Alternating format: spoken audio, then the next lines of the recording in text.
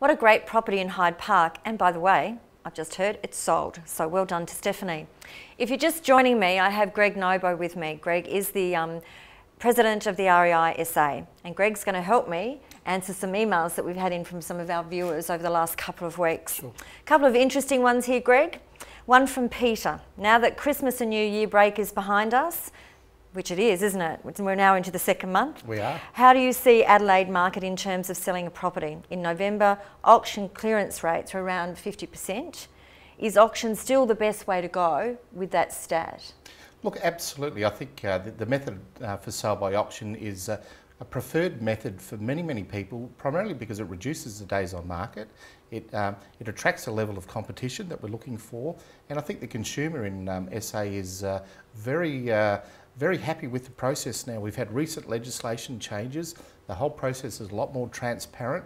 Um, the registration of bidders and of course holding up that little card. So um, I think auction definitely is uh, still a very preferred way.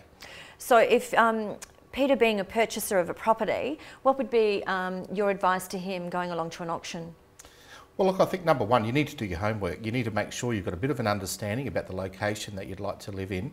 Um, make sure you've got your finances in order, obviously, number one. Mm-hmm. And uh, importantly, always speak to the sales consultant to give you all of that inside information that you're going to definitely need before putting your hand up and hopefully being successful.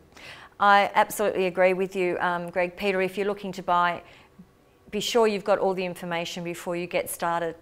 Just one more we've got here from a budding young uni student about to start uni. I'm a uni student and I would like to know how students can get rental properties when rents are so high and vacancies are so low. Look, it's a real issue, there's no doubt. The, the vacancy rates, as uh, um, the email suggested, are particularly low at the moment in Adelaide. Mm. I think one of the things that um, applicants need to do is to put the best foot forward. It might be that you have a parent put a reference in to assist you with that process. You might even want to consider looking further afield along a transport corridor. Uh, perhaps the rents might be a little bit more lower. And obviously there's the opportunity of uh, share housing as well. Mm. Look, I think there's lots of opportunity. It's just being at the right space at the right time Correct. for, for these students. And I think sharing a property is probably the way to go. They've got a better chance of getting a better, better place that they can share along and, that line. And possibly not too many wild parties. yeah, we don't want our, our landlords no, upset. That's right. So thank you, Brendan. I hope that answers um, your question.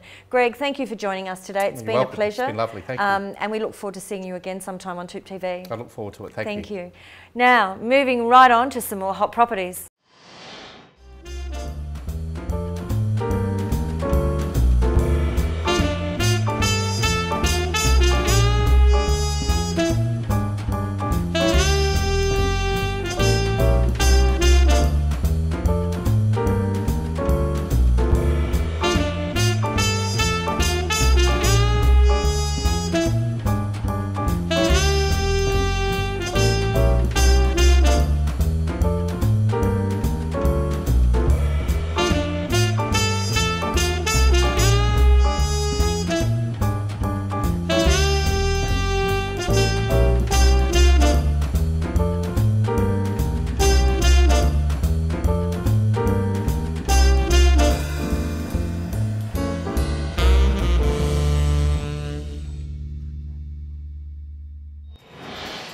Well, that's all we have time for this week. I hope you enjoyed the show.